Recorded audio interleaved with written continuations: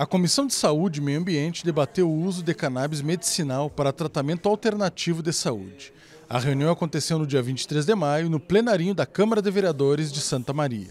Para debater o tema do tratamento com cannabis medicinal no Brasil, a comissão recebeu membros do grupo de trabalho Cannabis Medicinal do Conselho Regional de Psicologia e da Associação Canábica Medicinal.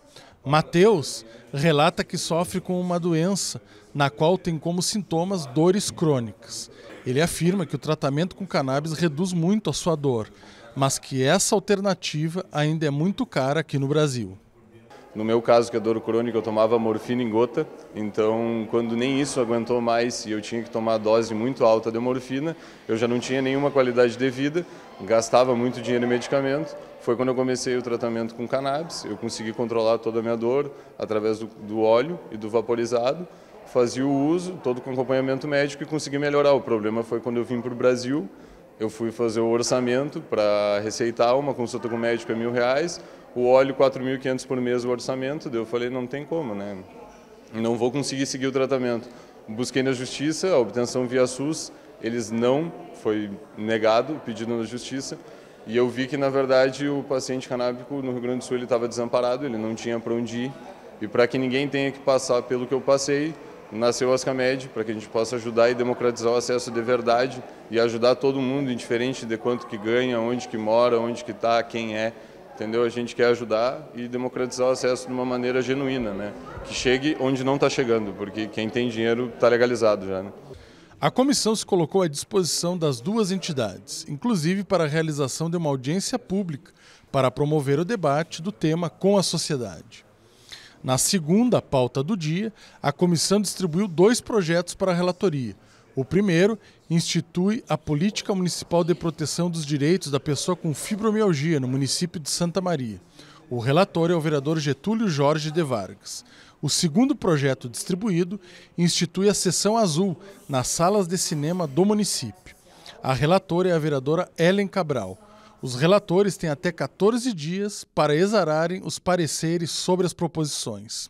Uma outra pauta tratada pela comissão na reunião de hoje foi sobre o atendimento psicossocial aqui em Santa Maria. Recentemente, a comissão recebeu denúncias de más condições no prédio e de mau atendimento a pacientes da Casa de Passagem Pousada Acolher. Os parlamentares visitaram a pousada e constataram essa situação. Como deliberação, a comissão irá encaminhar um pedido de informações sobre o contrato entre o Poder Executivo e a Casa de Passagem, entre outras informações. Essa Casa de Passagem oferece 20 vagas à comunidade, sendo que oito vagas são institucionalizadas pelo município. O objetivo é verificar em que condições é, né, está funcionando a Casa de Passagem Pousada Colher.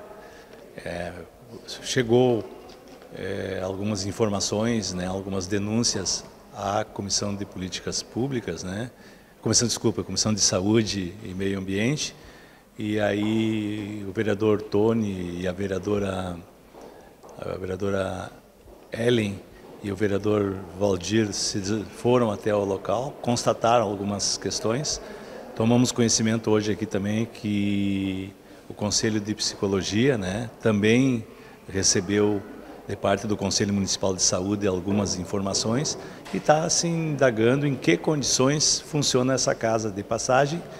E, a, e o primeiro passo que a Comissão de Saúde definiu hoje à tarde foi fazer um pedido de informações ao Poder Executivo, que é quem compra as vagas, né, compra um número X de vagas é, para acolher essas pessoas no local.